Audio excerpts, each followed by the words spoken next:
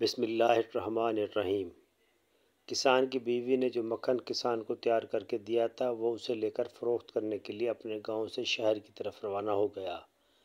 ये मक्खन गोल पेड़ों की शक्ल में बना हुआ था और हर पेड़े का वज़न एक किलो था। शहर में किसान ने उस मक्खन को हसब ममूल, एक दुकानदार के हाथों फ़रोख्त किया और दुकानदार से चाय की पत्ती, चीनी, तेल और साबुन वगैरह ख़रीद कर वापस अपने गाँव की तरफ़ रवाना हुआ।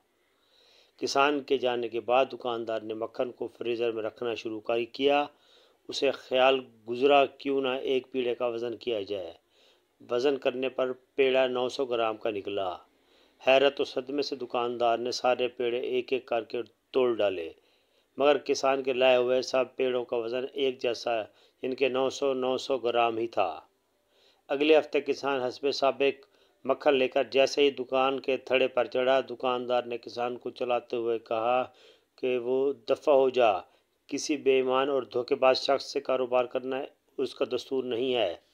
900 ग्राम को पूरा एक किलोग्राम कहकर बेचने वाले शख्स की वो शक्ल भी देखना नहीं गवारा करता।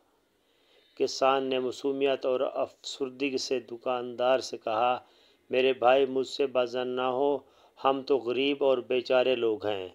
हमारे पास तोलने के लिए बाढ़ खरीदने की अस्तात नहीं।